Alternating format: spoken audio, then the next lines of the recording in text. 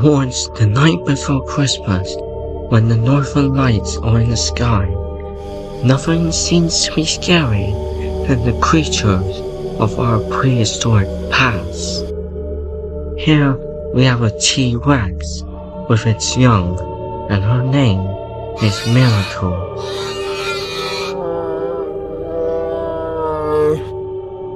This animal would be a good parent of the Christmas night. But even though it's not Christmas Eve, these creatures are special because they belong into the different parts of the universe called Ark. My name is Takar J. Watson, and my passion is to tell stories of these remarkable giants in the natural ways of their survival. And so, with or without any question, the T-Rex could be the miracle of Christmas, especially for Queen Fang, the queen of the dinosaurs.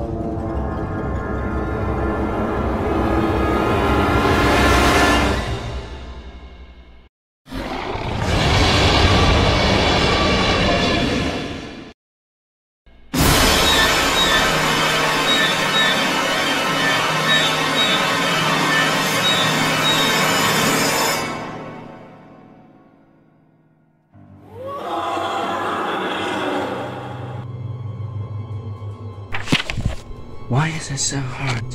Hmm? How come some of the words are challenging for this crossword? Oh, didn't see you guys. So, uh, uh, me, Jacob Miles, and Simba here have been on YouTube Studio on these, particularly on these YouTube analytics, almost 95.7% of you, the audience watching this particular Christmas video, are not subscribed to Dinosaur Studios. So, if you want me and Simba uh, to create awesome dinosaur content on YouTube, I suggest you do so. Now back to the back to the video that I have to complete this crossword. See you in the next video. Peace.